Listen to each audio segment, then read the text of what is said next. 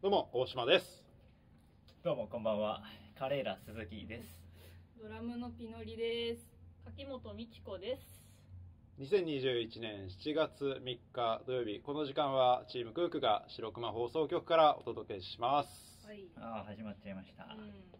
ということで今年ももう上半期が あ終わりましたねそうだ、下半期ですね。下半期が始まりましたねあっという間じゃ。なんてこった。思ってないよ。今の思ってないよ。感情ゼロだったいや、下半期になったじゃないですか。はい。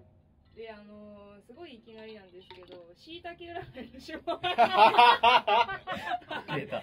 出たんですよ。た？はい好きだで、やねっ。ぱ私も、まあ、あの、気になる、うんそういうのが気になるので、もともと。で、水亀座なんですけど、はいはい調べたら、はいなんかもうまあいいいいよみたいな。なんか12年に一度のうん。いい年だよ水亀座っていうのはうーん。もともと2021年の頭からしいたけさん言ってたんですけど、うん。なんかそれがまあちょっと上半期はちょっとお落ち込むというかとはいえおちょっと小休憩も入れた方がいいよみたいなほこと言われてたのがうほうほう。こっから10月ぐらいにかけてもうやべえみたいなやべえしダンスミュージック聴けみたいななんかもうあ海外のが雑。そんな。そんなピンポイントで。あそう。みたいなことそんな指示されんの？いや指示されてて。へえ。そう。なんでまだ聞いてないんですけど。海外のダンスミュージック。海外の？海外の。安室ちゃんとかダメなの？作曲者が外国人だったらいいのかな。うーん。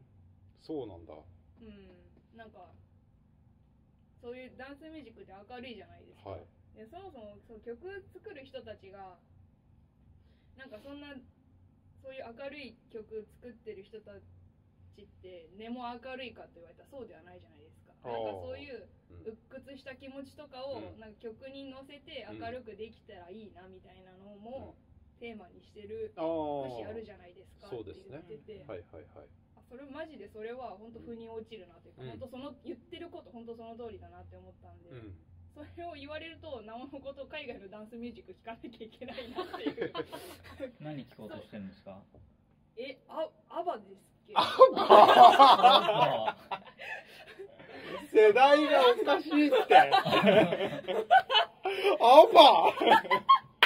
もうちょっとナウいの出てくるかと思いました。あ多分そうしいたけさんもアバ想定してないよ。あんま来ると思ってなかった。ー思ってなかったあーびっくりした。アバですかね。やばいね。ダンシングクイーンみたいな。ダンシングクイーンダンスミュージックで思いついたのがダンシングクイーンだった。まずそれが脳内に超面白いねいやテレテーってずっと頭の中で流れてますよ。ダンスミュージックかアバだな。クラブで今最近流れてるようなやつのこと言ってんじゃないのいやかな。多分そうだと思うんですよ。そうだね。ちょっとこううん EDM っぽい感じというか。ニーヨみたいなあーニーヨとかね。そんな感じだと思うんですけど、うん。いやアバだなとアバだなとアバだな。いいんじゃないですか。いね。すいませんちょっとしょっぱなから。いやいいんです。アバ聞けばえそう。下半期そうなんか。上上ががっていくとかなと思って。しいたけ占いそういえば見てないな。そうか下半期出たのね。出ました出ました。みんなの分は見てないのまだ。見てないです。なんで？いやちょっとやっぱねちょっと自分の運勢がやっぱ気になっちゃったもんまあそうっすよね。はい。そうっすよね。確かに。そのこの下半期に入る直前にはい。上半期最大級のニュースが僕の中であってはい。大江戸温泉潰れる衝撃のニュース、うん。ね、お台場のうん。大江戸温泉物語が9月頭ではい。終了ってね、ニュースあったじゃないですか。衝撃ですよねあれね、何かっつうと言ってましたもんね。何かっていうと言ってた本当に。確かに。クークの日のこうお疲れ様会でも一回行ったし、そうね。そう。だからこれ潰れるって聞いてじゃあ今年最後のお疲れ様会かねなんて言ってたら9月のもっと3日とか4日ぐらいなんだよね最初の土日でもう終わっちゃう。そうだよね。やべえぞ。やべえよ。ちょっと俺は一回行っとかないとなとは思うね。うん。さすがに。一人でも行ってこようかな。んで？それは誘って？ちゃんと。前この4人で行きましたよ。そうだよ。本当に。2年前とかですけど。そうだね。23年ですよね。そうそあそんそないたうだね、う。んそんくらい前だね。うね去年は行ってないからそ,、そうだね。の前だ、なんか世間ね、がごたごたしてたからね。そうだね。そうそうだよ。あの時は。確かみちこちゃんがそうアドレスのラストライブの次の日だったの。次の日でしたっけ？そう次の日だった。そうクークの日があってでその3日後か2日後ぐらいに、うん。そのアドレスのラストライブがあって、うん。みちこちゃんがもともとやってたアドレスってバンドのラストライブがあってその次の日に行くってなってみちこちゃんも電車の中で寝てたもんねずっと。そうしかも私は盛大に寝坊をしたね夕方集合だったそうなんだだっけ？寝坊したんだっけ？寝坊した。起きてマジでやべえ死ぬって思いながら行った気がする。え先に行ってたあでもどうだったっけ？多分ねうん。スタバかどっかで待ってくれたあー気がするんだよね。そうだ。ああそうだったかもしれない。スタバで待ってました。そうだそうだ。思い出せない待ってた待ってたそう。そうだった。うん。いやあれはそうだね。ちょっと日にちの設定間違えたね、いやよく本当うん。なんでこれで行こうってなったんですか？わかんない。いや自分も行けるっしょって思った。行けなかったよね。行けなかったね。いやだってその前日のそのライブの日打ち上げ多分日打ち上げした人。デッドヒートみたいな感じであ朝まで打ち上げしてた。そうだよね。そりゃそうなるよね、それ途中までいたっけ？もしかして。ライブ？うちら。いや帰ったっけ？打ち上げにはいなかったけどライブは3人で見に行ったよあねそうかそうか。そう見に来てくれた。見に行った見にね行った。ただのガイガヤ集団でした。ガヤガヤだったね。いやありがたかったいやですよそんなことあったっけ？いやいやいやいあやったっけ？しらばっくれそうだったっけ？下懐かしい手な。下手でもうガヤってましたよ、うんそうだね。それは覚えてんの。覚えてる。覚えてんだそこ。うんそうみちこちゃんがいたからうんがやっちゃったよね。うん。そうだね。そうだそうだ。あったあった。テンション上がっちゃうよね。うん。目の前にみちこちゃんいると。うん。今もいるけど。今もだから上がってるんだよね。今上がってる今の上がってるどう見ても上がってるでしょそうでしょおおそうかそうか。うん。よし次の話題は？あ逃げただよ。なんでそこに逃げる必要ある？それ。恥ずかしくなっちゃったかな。テレアさん。そうだねテレ屋さん。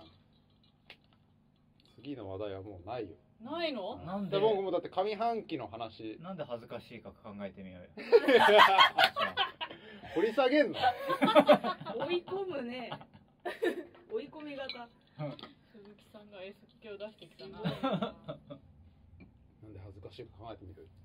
なんで恥ずかしい恥ずかしいの？本当に。いやそもそも恥ずかしいかどうかだよね。おお自分そう自分が話題の中心になることがうん。嫌なのかそれとも恥ずかしいのか？あそこちょっと考えてみようか。ーなんだろうね。褒めてもらえるのは嬉しいけど褒められ慣れてないみたいな。ああうん。じゃあ褒められ下半期の目標褒められなれるにしようか、おおすごい目標だうん。な確か褒められてもはい。動じない。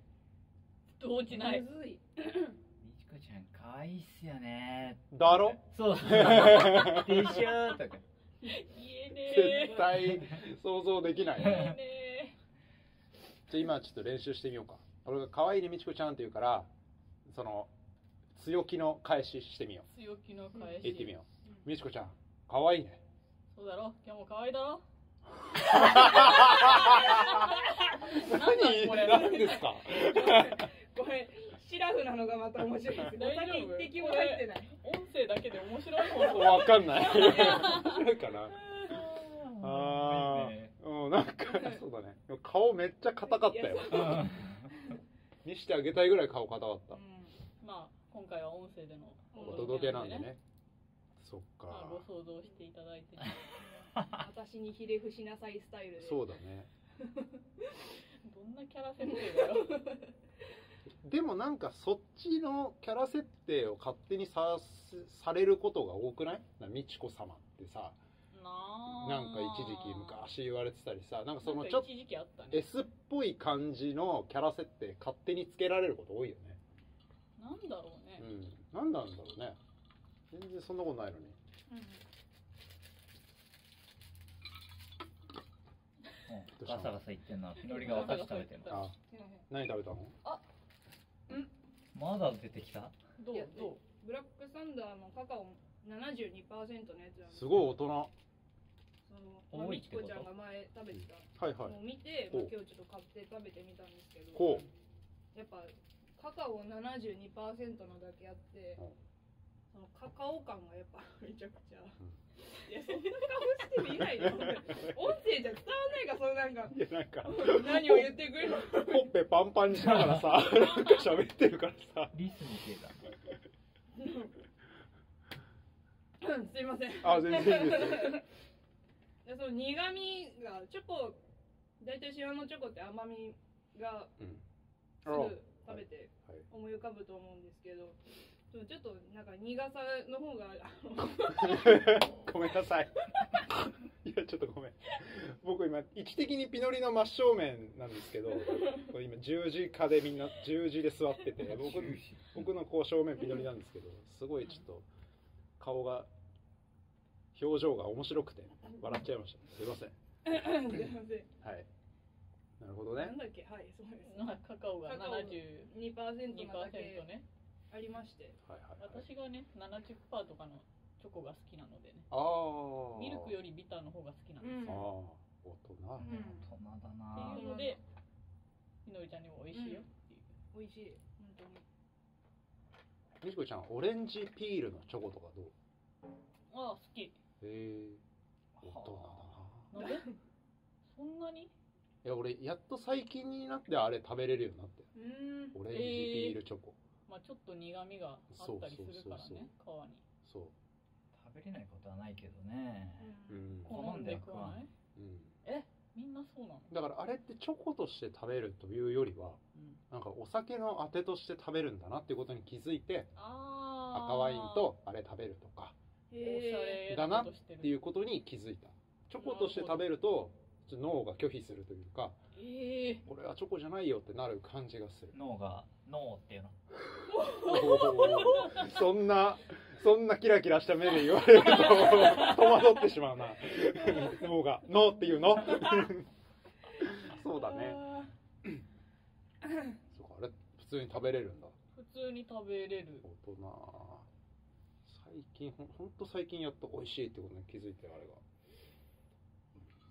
ワインと合うような当てみたいなやつが本当どういう気持ちで食べていいのかわからないものばっかりであーわかる気がすおー。甘いものとしょっぱいものをさミックスさせたあものとかさ、はいはいはい。多いじゃない、はい。なんかあれですかフルーツをとかにレーズンがついてくるとか。あんとかさフルーツをハムでくるんでみたりとか。あああれは確かに分かんない。ほんと。あれは脳が脳っていうあれは確かに。あれは言う。うん中で一番ワイン飲むのは多分大島君だ、うん。そうですね。まあそうだね。飲むけどでもやっぱそのハムにフルーツ生ハムフルーツとかはちょっとねいまだにわからない。美味しさが。何なんだろうね。うん。困っちゃうんだよね。美味しいっしょって出されても。いやそうですこれどういう気持ちで食べればいいんですかってなっちゃう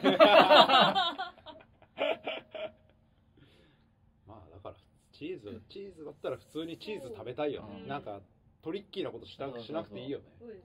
あでもチーズに蜂蜜は好き。あー。それはわかる。うん。あれなんだ？それはわかるわ。あのゴそれはありだ。ルゴンゾーラのピザとか。はい。蜂蜜かけたいよね。それはありだわ。ピノリだけすごい顔してる。ダメですか？すごいなんか悩んでる。いやちょまだ多分これはまだ私が若いがゆえのやつかもしれないですけど。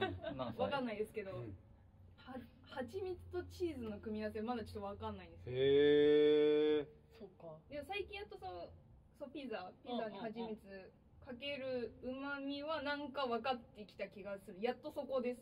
スタートライン片足踏みかけてる状態ぐらいです。なるほど。全然まだちょっとわかんないです。あそう。ん。う意外だな。ううん。多分一口食べて大島さんとか涼介さんに「はい」っつって渡 これこれ好きですよねみたいな。どうぞ私もう大丈夫なんでみたいな。あそう。ことしそうな気がしますね出てきたら。そうですか。意外ですね。うん。ピザが好きで。しょっぱいのがいいと。しょっぱいのがいいですよね。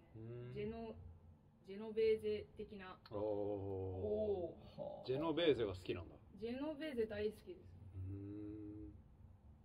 歯がうんこうあーもう何大変なことバジルカスだらけになる。バジルカス。バジルカバジルとカスを結びつける人いないよ。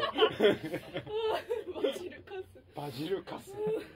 いやまあまあまあそうまあそれもまあそうなってもいいぐらい普通に好きですね。なるほどね。バジル。そっか。うバジバジル。じゃあお家で使ったりしたらいいじゃないパスタとかでふと思ったけど。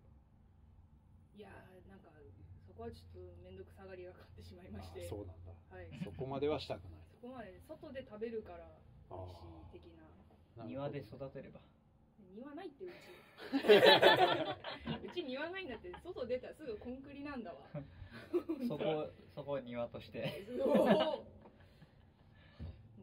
それ鉢鉢を買ってって感じですねうしよ今年の夏はうん。育てよちょっと勘弁してくうださい。いいじゃん。やだよもう遠征とかししちゃった時には誰が水やんのって。連れてこう。遠征したら大変かもそうですよねう確かに お水あげないといけないもんね。雨降れって思いますもんそしたら。確かに。そういうのがあるのかじゃあ今週も行ってみますか。うんはい。